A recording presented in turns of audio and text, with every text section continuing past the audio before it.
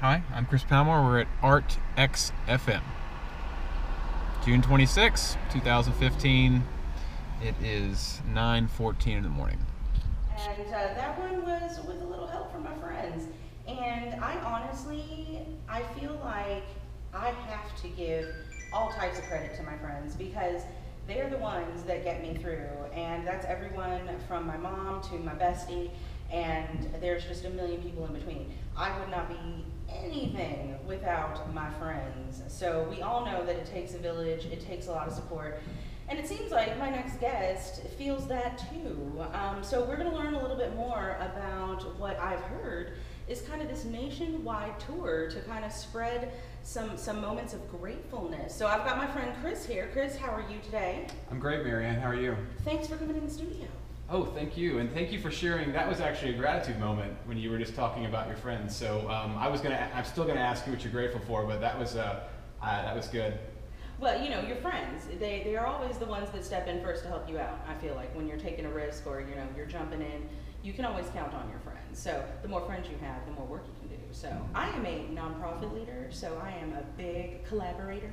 Hey, hey, uh, we're, we're a nonprofit You feel and, me? and a no money company too, so I, I understand. completely. Collaboration is key. Yes, networking, Absolutely. friendships. Uh, yeah, no, friends. Uh, I think life. Uh, I, the most important thing in life are relationships. Absolutely. First and foremost, everything else is secondary. We are already simpatico. Yes, Me there we and go. you- Me and you, Chris. So tell me, because you're not from here, you're not a Louisvillian, are you? Actually, I am. You're a Louisvillian, Yes, I am. but you're traveling. Yes, I'm actually. The bags are packed. We are we are driving from here to Chicago. Okay. as- to begin this tour, I, I'm starting out with a little uh, a cleansing. I'm going to Chicago, and I'm going to uh, get a message from my, my my biggest mentor in the world, Bono. I'm going to go see U2. Uh, and, and I am so and- jealous of you right now, Chris. It's going to be a spiritual experience. Oh, I already yes. know my friend Kyle Meredith has just interviewed him, and he, he said it was monument. Oh well, I'm, I'm jealous of your friend Kyle. now. Uh, well, he, he's, he's one of the best music producers in the biz over there um, at WFPK. But there's a lot of love going on right now that's going to be centered around Chicago, especially because of the U2 show. I've got a ton of friends going. You are so awesome to be able to get to experience that. So you are actually going to get to. Are you going to get to talk to the man? No, I, I, I- I feel though, uh, Marianne, that when I, because I've seen U2 about 10 times, and uh, Really? which is never enough.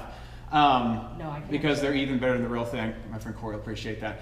So I, I feel that it's a spiritual thing being in there. I feel that when Bono's singing, the band's playing, I feel that, um, that I, I take it in as personally like it's for me. So Oh, sure. um, I'm not actually going to be able to dialogue with him right now. Not that I won't anytime, sometime soon. You I definitely know. could. Um, I've already written him a letter on the site. I would love for him to read it because I know what I'm doing. He would be about and uh, people that help people out. You always got to continue asking. Um, I feel like this is right up Bono's alley. Oh yeah, So yeah. we just need to tweet at him. Is all that is. Yes, because We just need to let him know. Yes, Our friend, yes. our friend Chris is going to be there. I'm going to be there, Kicking and off a tour if I of- could get of a gratitude moments. yeah, if I could get a gratitude moment from Bono and uh, put it on the website, That would he, he start- could that would start inspire. that tour, huh? He could easily inspire millions of people to share gratitude.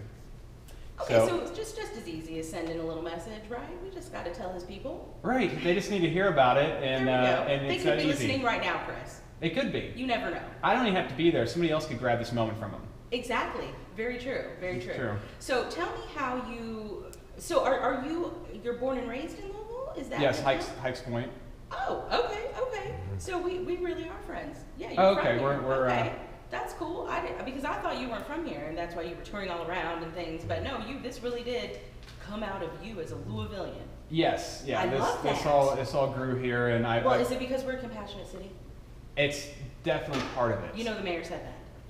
I've been trying to talk to him, and uh, at some point, uh, maybe he'd be a little easier to talk to than Bono. I mean, I guess I could go back down yeah, there. Yeah, he's definitely easier to talk to than Bono, I think. But Yeah. we, we can get a gratitude moment out of him. I'm Yeah, sure he's yeah. grateful for lots of things. But how did this come come to play for you? How did you come up with the idea to do this tour?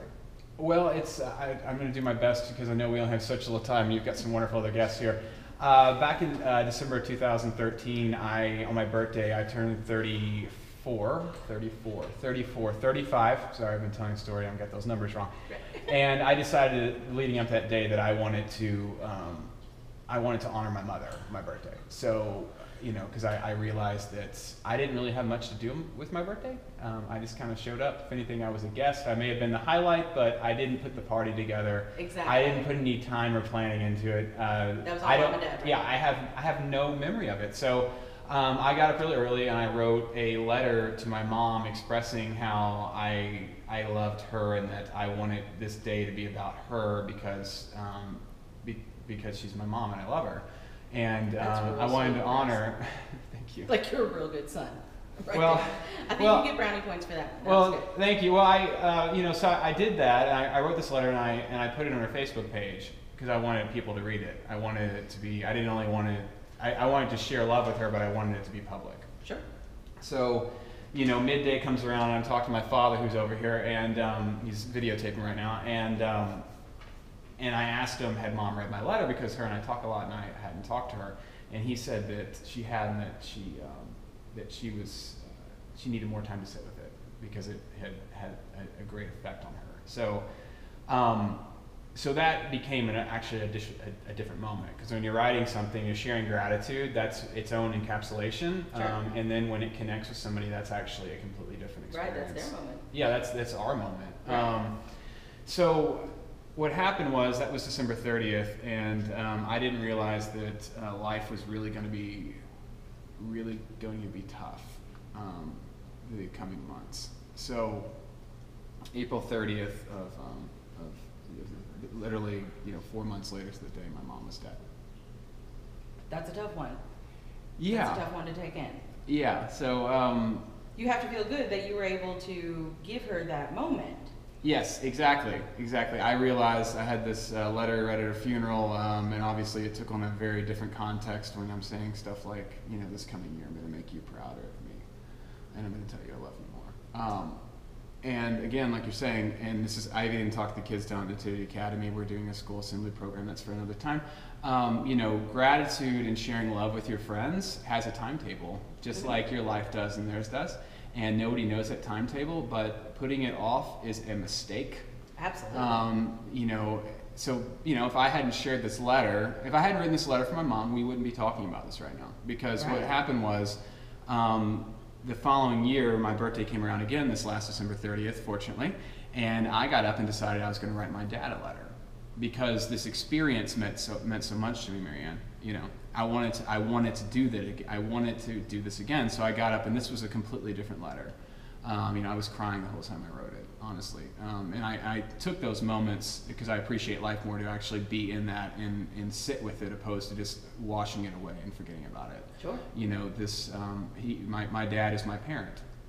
You know, there's nobody else in my life will ever love me as much as him. That's Right. on this planet, straight up. It, you know, I, I, told him before, I'm like, you know, he could he could pass away tomorrow, and I could live another, I could live hundred years, and nobody's going to be able to care about me that much. Um, so I wrote this letter to him on my birthday, expressing how much I cared about him and how much how much more, even more so important he was to me and the connection.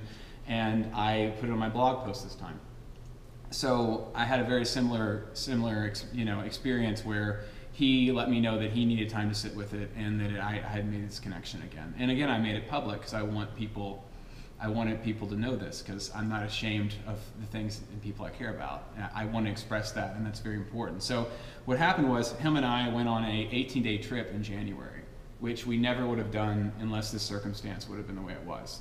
So I, I went out and we were away, which is a beautiful thing. That's part of. I'm very excited about traveling. You get it's almost like you've dropped baggage. Um, Mhm. You're a much looser, freer person uh, when you're out. and It's like it's like a brand new world. And I asked myself an important question. I said, you know, I said, I said, Chris, what what goals do you have for 2015? Um, because I know it, the questions you ask yourself, you actually answer, like uh, opposed to other people asking you all the time. You can ignore them, not think about when you ask yourself that you actually get an answer.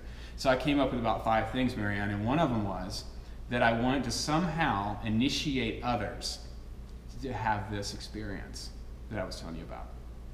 So that was the nugget of the idea. Okay. And I got back and said, How do you do that? Okay, well, I have to have a goal. Okay, so, you know, I said, All right, well, I'm going to, um, long story short, I decided, okay, I'm going to, I can do this myself. I was initially thinking about news outlets. I was like, No, I can do this myself. I can create a website.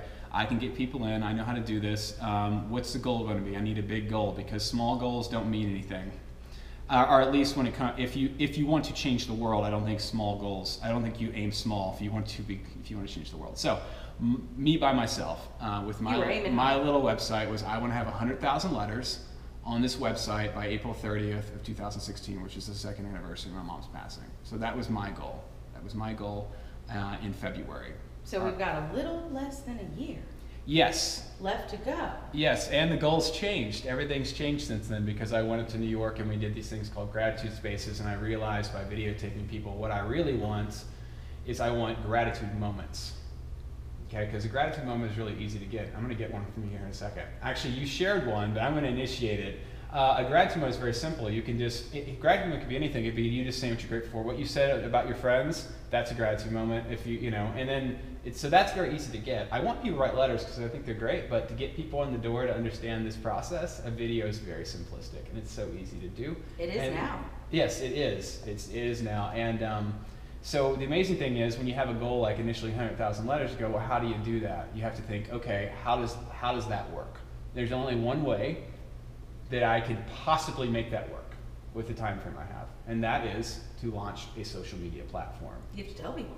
Well, yes, but I, I have to definitely tell people I'm doing now, but I have to have a platform where people can organically share gratitude throughout the world and they can make these posts because there's absolutely no way even I can, there's no way that it can be tracked any other way. There's no way, I, I have to have people organically sharing gratitude. So I, I'm in the process of launching the first social media platform for sharing gratitude throughout the world, or I would say the most, the most significant one.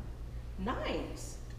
Well, I want to hear more about your tour and these gratitude moments and how people can participate. We're going to take a quick break, but we're going to come back. We're going to talk to Chris a little bit more about what he's grateful for. And I know I'm grateful for like a thousand million things. So we will also talk a little bit about that. Don't go away. You are listening to Art FM, and this is Flirt Arts.